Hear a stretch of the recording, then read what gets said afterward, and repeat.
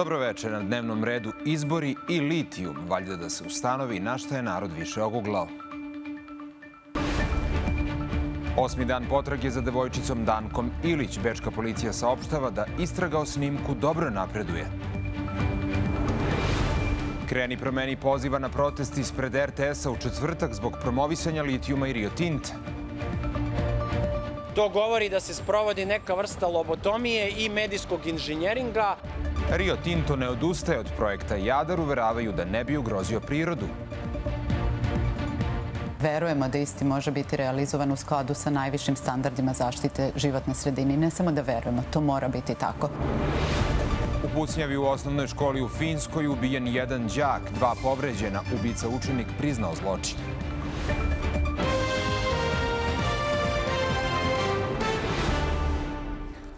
Gledate večernje vesti nove, ja sam Radovan Saratlić. Potraga za nestalom devojčicom Dankom Milić, koja je nestala prošlog utorka, traje već osam dana. U Banjskom polju policija i dalje pretražuje teren, sve objekte u okolini, pretražena i divlja deponija na starom Banjskom putu, a pretražuju se i kuće ljudi koji tu ne žive. Specijalistički timovi i Ministarstvo unutrašnjih poslova pretražili su i tunel, podzemne kanale i šahte, šume i nisu pronašli nikakve tragove koji bi ukazali na to da se devojčica tu nalazila. Bečka policija saopštila je da ne može sa sigurnošću 100% reći da li je na snimku koji je dobila dvogodišnja Danka Ilić, ali je istakla da istraga dobro napreduje.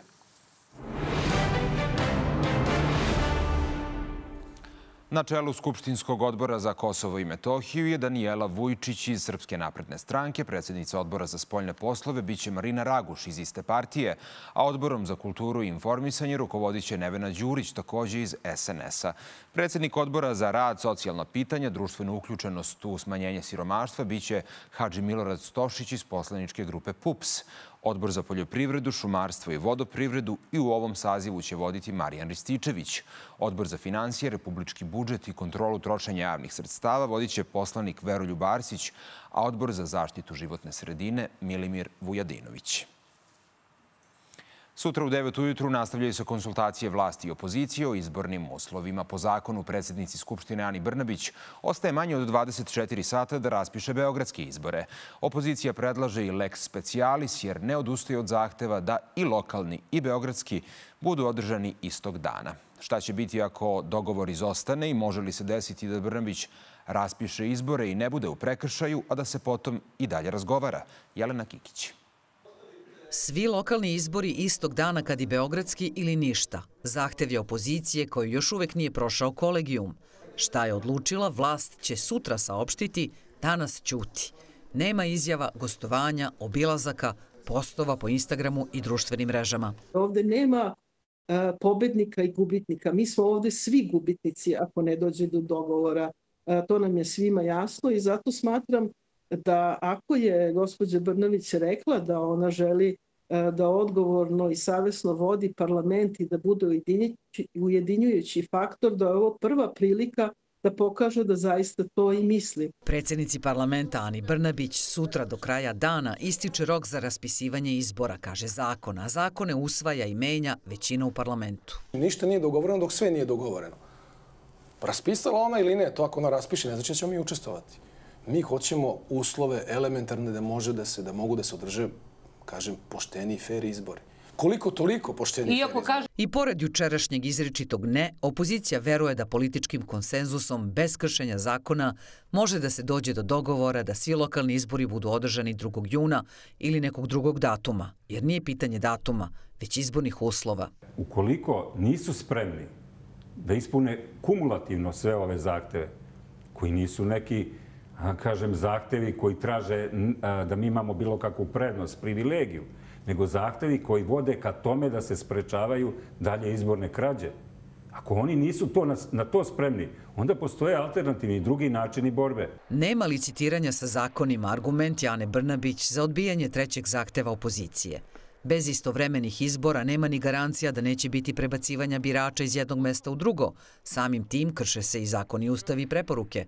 Odlučna je druga strana. Ako i sama e, gospođa Brnabić priznala da nije zadovoljna kako radi RTS, onda mislim da to već veliki iskorak.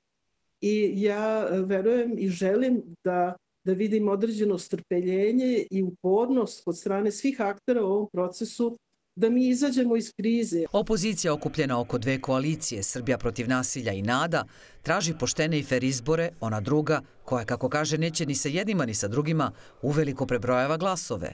A mi glas iz naroda juče nisu ni došli na zajednički sastanak u Skupštini. Mi smatramo da nema potrebe da učestvujemo na tim fingiranim pregovorima gde se u stvari nešto događa iza kulisa, a onda posle toga se to predstavlja i ne želimo da učestvujemo jednostavno u svemu tome. Eto, prosto rečeno, Drugo, ako me pitate kako sad stojimo, imamo rezultate dva istraživanja koje su drugi platili. Jedno je ovo NDI što je platili su Amerikanci, tu smo bili blizu 8%.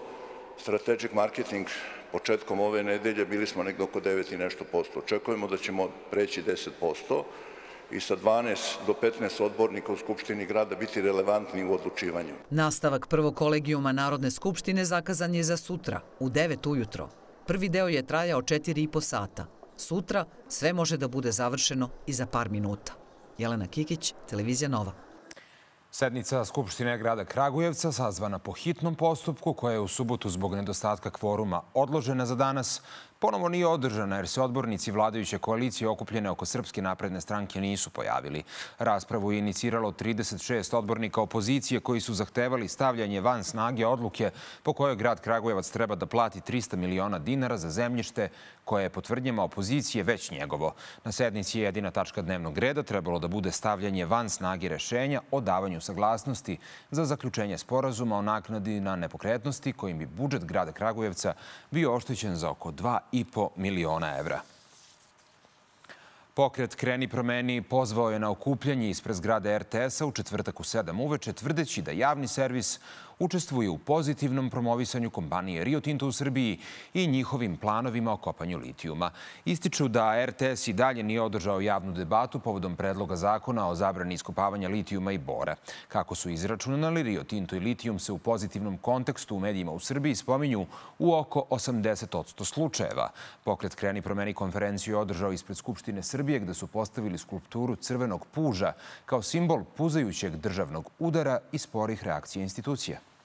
Imali jeste monitoring od dve nedelje koje je sproveo tim za kampanje Kreni promeni, koje je jasno utvrdio da imamo 239 spominjanja litijuma u medijima, zatim 30, 69 spominjanja Rio Tinta, 83% slučajeva se spominje litijum jako pozitivno, a Rio Tinto 77 puta. To govori da se sprovodi neka vrsta lobotomije i medijskog inženjeringa. Mi smo postavili pitanje da li Rio Tinto plaća ove medije, da li je u pitanju poštovan zakon o lobiranju u kontaktima sa političarima. Na sve to RTS ćuti. Glavna zastupnica Rio Tinta u Srbiji, Marijanti Babić, rekla je za Dnevnik Nove da je cilj kompanije da javnost informiše o tome da projekat Jadar može biti sproveden uz poštovanje najviših standarda zaštite životne sredine. Mi kao kompanija, i to smo već izjavljivali a, više puta, verujemo u projekat Jadar, verujemo da isti može biti realizovan u skladu sa najvišim standardima zaštite životne sredine. I ne samo da verujemo, to mora biti tako. Svesni smo da je bila jedna kampanja, vrlo negativna. Veliki broj dezinformacija o projektu Jadar je prisutan u Srbiji. O tome se mhm. priča na svim događajima, ovaj, bilo da su društvene ili privatne prirode.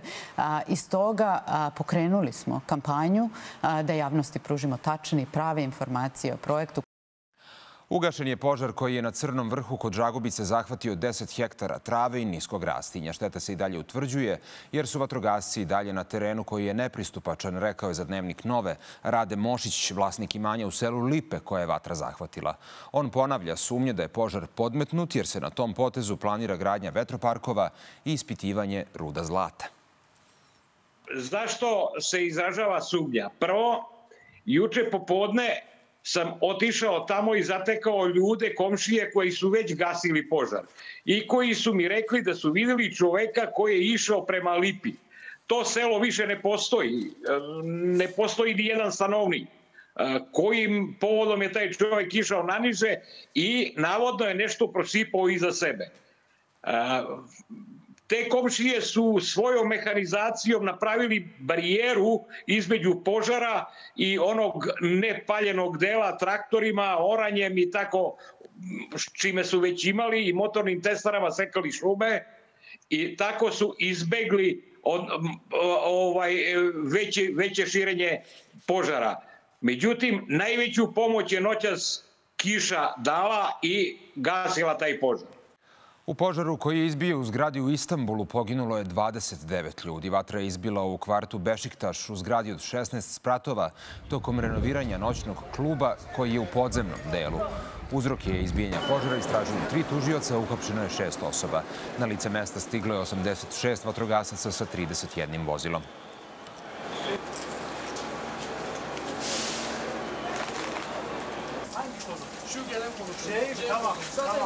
Renoviranje i izgradnja nisu prijavljeni opštini, a pošto je to mesto dva sprata ispod zemlje, radovi se nisu mogli ni videti. Jedan učenik je ubijen, a dvoje teško povređeno u pucnjavi u osnovnoj školi u Finskoj, nedaleko od Helsinkija, u gradu Vanta. I žrtve i dečak koji je pucao su učenici te škole starosti 12 godina. Dvojica ranjenih učenika su na lečenju zbog ozbiljnih povreda. Osumnjičen je priveden, a pištolj koji je kod njega pronađen registrovan je na ime njegovog bliskog rođaka.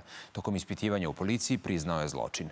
Đaci u Finskoj zbog uskrsa nisu išli u školu u petak i ponedeljak, a danas je bio prvi radni dan posle praznika.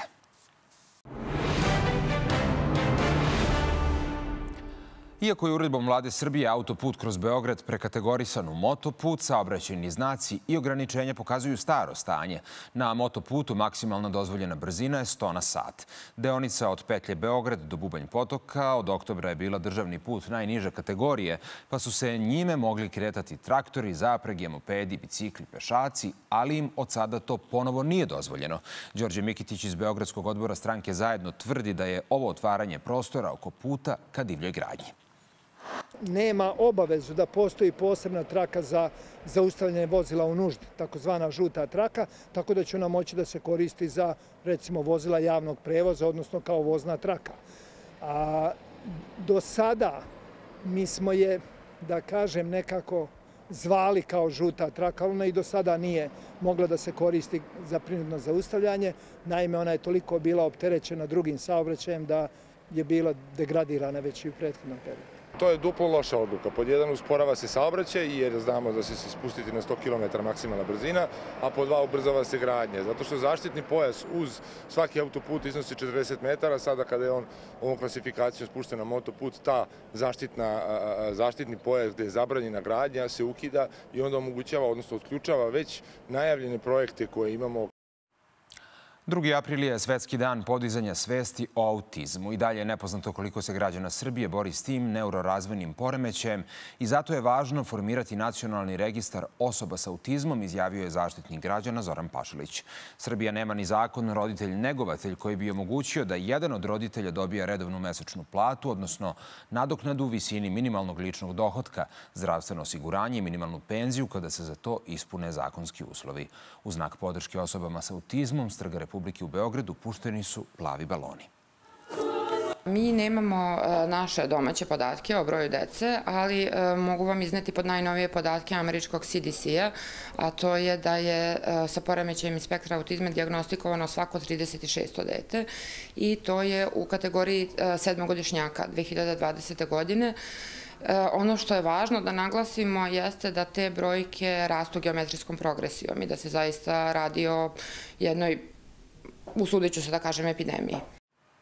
Učenici Treće Beogradske gimnazije tradicionalno organizuju filmski festival koji traje do 4. aprila u dvorištu škole, a ukupan novac od prodaje karata i ostalih prihoda biće uplaćen udruženju Nurdor.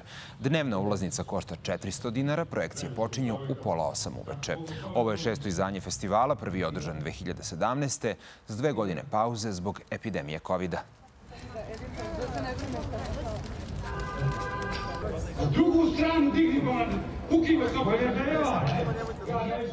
Sutradan 3. aprila emitovaće se takođe jedan jako poznati film, jugoslovenski, uh, Maratonci trče počasni krug i trećeg dana, poslednjeg dana, 4. april, emitovaće se jedan novi naš film, Čuvari formule, koji je zapravo premijera je bila u avgustu, ako se ne varam, prošle godine, tako da svi koji do sad nisu stigli da ga pogledaju imaće priliku to da urade ovde. Ove godine odlukom organizatora i parlamenta Treće Beogradske gimnazije ta sredstva biće upućena nacionalnom udruženju roditelja dece obolela, obolele od raka, tako da se nadamo da će odaziv građana biti veliki i učenika naše škole i zaista očekujemo da ćemo utrostručiti pa i učetvorostručiti recimo sredstva koja su bila prikupljena u toku prošle školske godine, a koje smo već dostigli u prvim danima prošle nedelje kada je počela prodaja karta. I ostalo je da čujemo kako nas vreme očekuje. Sutra u Srbiji smena oblaka i sunca, ali bez padavina. Temperature od 3 do 23 stepena. Gledali ste vesti, ostanite uz novu laku.